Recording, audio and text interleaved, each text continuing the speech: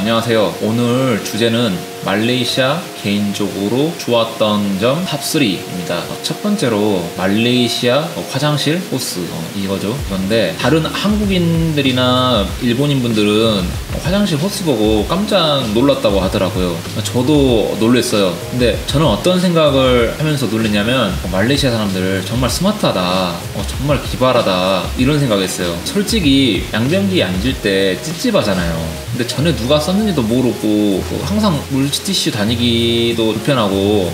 근데 호스로 물을 뿌려서 휴지로 깨끗하게 닦으니까 저 마음이 좀 편하더라고요. 그리고 전 한국에 있을 때부터 비대 애호가였어요. 이게 비대인데 화장실은 집 아니면 동사무소, 구청, 도서관을 주로 갔어요. 한국은 그 그런 곳에 그 비대가 많잖아요. 그리고 한국에서 스타벅스나 뭐 맥도날드 이런 데 가면은 비대가 없잖아요. 저는 한국 카페 갈 때 정말 불편하더라고요. 근데 말레이시아는 어디 가든 그 화장실 호수가 있는 거예요. 없는 곳이 없어요. 그런데 이 차이는 있어요. 어떤 차이가 있냐면은 이 호수가 있잖아요. 손잡이가 있으면 그 어느 정도 물 조절이 가능해요. 그런데 진짜 이런 경우는 당황스럽죠. 보시나요? 그냥 생 호스, 그 고무 real 호스 같은 경우는 정말 난감하죠. 저도 이 좀 물기 조절이 쉽지 않은 것 같아요. 내 마음대로 물기 조절을 컨트롤할 수가 없어요. 저 이거 말라카 터미널에서 봤고 HELP University에도 이게 있어요. 이거 있는 곳은 아, 미세한 진짜 컨트롤이 정말 필요해요. 그래도 저는 말레이시아 화장실 호스 어, 너무 좋아합니다. 두 번째는 말레이시아인은 어, 배드민턴을 사랑한다. 말레이시아가 배드민턴이 유명하다고 말을 어, 이전부터 들었어요. 2008년도 베이징 올림픽 때 그, 이가 날아다녔잖아요. 근데 말레이시아 친구들이랑 배드민턴을 치면 얘들이 어, 리총이처럼 된 것 마냥 그 날아다녀요. 무슨 프로 선수처럼 막 너무 잘해서 깜짝 놀랐어요. 근데 특이한 게 말레이시아는 여자애들도 잘해요. 솔직히 저는 한국 밖에 있는 여자 여자애들하고 배드민턴 치면은 장난하는 것도 아니고 이거 내순인가 막, 막 이런단 말이에요. 근데 오, 말레이시아 여자들은 진짜 예, 봐준 적 없어요. 그냥 바로 스매시 때리고 예, 미친 듯이 막 날라다녀. 예. 근데 내가 한국인이라서 그런가? 그거 막 저한테 적극적으로 예, 공격하는 것 같아. 예. 아니 내가 잘하면 모르는데 저는 그, 들에 비해서 정말 못하거든요. 간혹 잘하는 애들끼리 복식할 때는 저는 자동으로 이제 아웃이에요. 안 껴줘. 연습할 때나 불러주고 그래요. 생각해보니까 나 단 한 번도 여, 무슬림 여자애들하고 운동을 해본 적이 없는 것 같아요.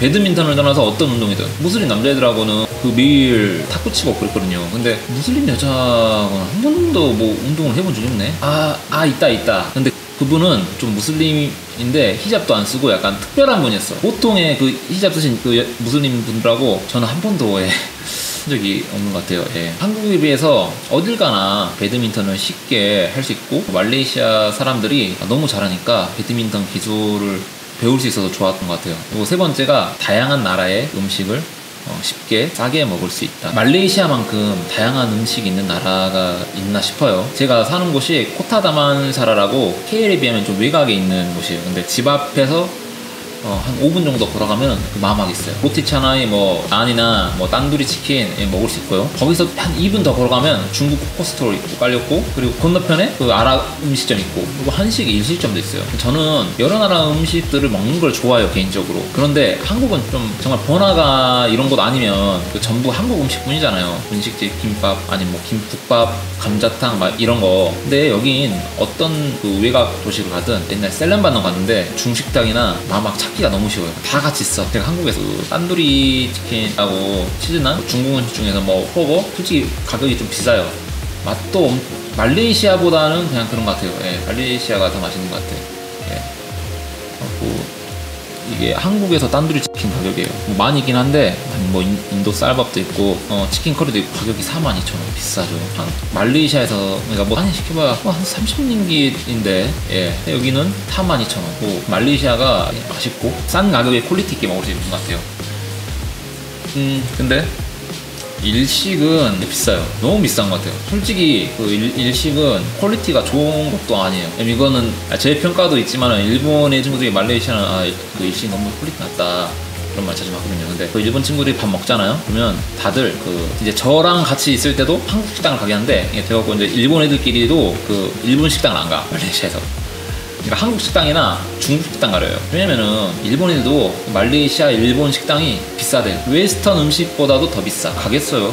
말레이시아 사람들은 일식당 가는 거 좋아하는 것 같아요. 제가 봤을 때. 예. 좀막 의미 있듯이 가더라고요. 제. 그런데 이렇게 말레이시아 음식 다양하게 먹을 수 있다는 것도 장점인데 문제가 뭐냐면은 개인적으로 지사제를 24시간 가지고 다녀야 해요. 가지고 다녀야 해요. 왜냐면은 이건 음식이 이상해서가 아니라 우리 위장이 안 익숙한 것 같아요. 왜냐면은 예를 들어서 한 번은 제가 말레이시 친구들을 그 한국 레스토랑 그 인들을 데려갔어요.